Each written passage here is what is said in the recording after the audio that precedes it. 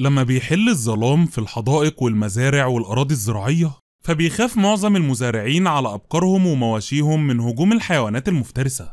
وعشان كده بيميل المزارعين لاقتناء الأسلحة أو لتربية الكلاب لحراستهم. ولكن لو افترضنا إن الأسلحة والكلاب هتضمن لنا الحماية من المفترسات فإزاي ممكن نحمي الأراضي الزراعية لو هجم عليها سرب من الجراد مثلا؟ وليه في الصين مش بيفضلوا أكل البط إطلاقا؟ وإيه كمان علاقة البط بزيادة إنتاجية المحاصيل الزراعية وخصوصا الأرز؟ وهل في حيوانات تانية ممكن نستخدمها لحماية الأراضي الزراعية ولا لأ؟ كل ده وأكتر هنعرفه في حلقتنا النهاردة. ولكن قبل ما نبدأ يا ريت ما تنسوش الإعجاب بالفيديو والاشتراك في القناة لو أول مرة تشرفونا. وصلوا بينا على سيدنا محمد عليه الصلاة والسلام. ويلا بينا نبدأ.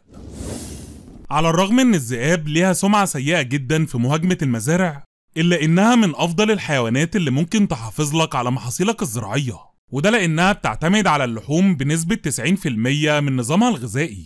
الذئاب ممكن تصطاد القوارض زي السناجب والفئران بكل مهارة. يعني لو افترضنا إن تم القضاء على الذئاب بالكامل فدي حاجة ممكن تؤدي لانفجار في أعداد القوارض في المنطقة. خلي بالك الذئاب ممكن تهاجم حيواناتك اللي هتربيها في المزرعة برضه ولكن لو قدرت تعمل توازن بإنك تربي كلاب مثلا فهتضمن إن الذئاب هتفضل بعيد عن المواشي بتاعتك؟ وفي نفس الوقت هتتمشى يوميا وسط محاصيلك الزراعية وتخلصك من القوارض الضارة. لو شفت المشهد ده للوهلة الأولى هتحس كأنك في فيلم خيال علمي. ولكن لو ركزت كويس هتكتشف إنه جيش حقيقي مكون من ملايين البط. من قديم الأزل والبشر بيستخدموا البط لإبادة الجراد.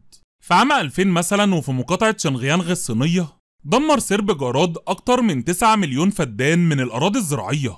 وعشان كده الصين شحنت آلاف البط والدجاج لمقاطعة شنغيانغ وده للقضاء على الجراد اللي انتشر في كل أنحاء المقاطعة. وعلى الرغم إن الدجاج والبط ممكن يفضلوا ياكلوا طول الوقت بدون أي انقطاع إلا إن البط نفسه بتكون مفتوحة أكتر وسهل تنظيمهم في مجموعات.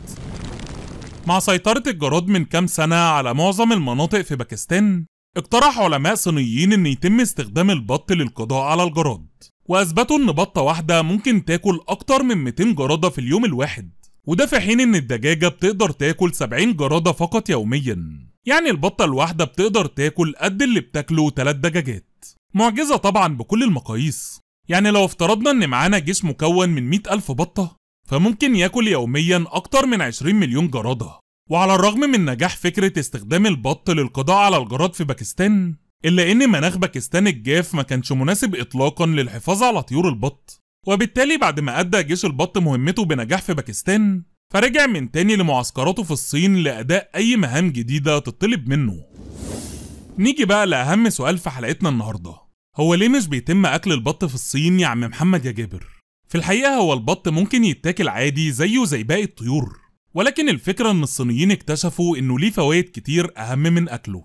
من 600 سنة مثلا والصينيين بيستخدموا البط للدفاع عن المحاصيل، حتى إنهم عندهم حاليا ما يعرف باسم زراعة البط والأرز، وده معناه إن أي حقل أرز لازم يتربى جنبه مجموعة بط ترعاه. والبط هنا بيكون ليه مهمتين واضحين جدا. أولهم وأهمهم إنه يبعد الحشرات والآفات وبيزيل الأعشاب الضارة، وتاني حاجة إنه بيترك روث وفضلات بتستخدم كسماد عضوي للنباتات. وده معناه إن الأرز هينمو بدون أي أسمدة صناعية ومحمي تماما من كل الحشرات.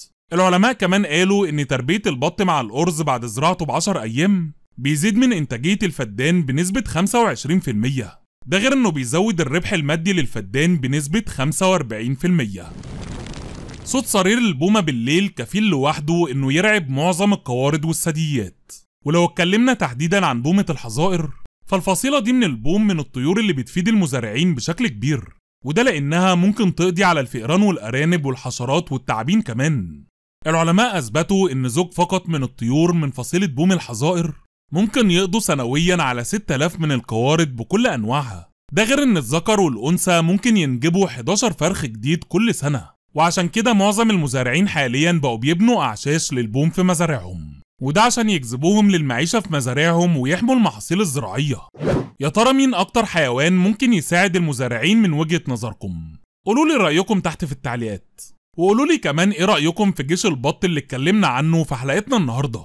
وطبعا مش هتنسوا الإعجاب بالفيديو والاشتراك في القناة لو أول مرة تشرفونا. كان معاكم أخوكم محمد جبر وأشوفكم الحلقة الجاية.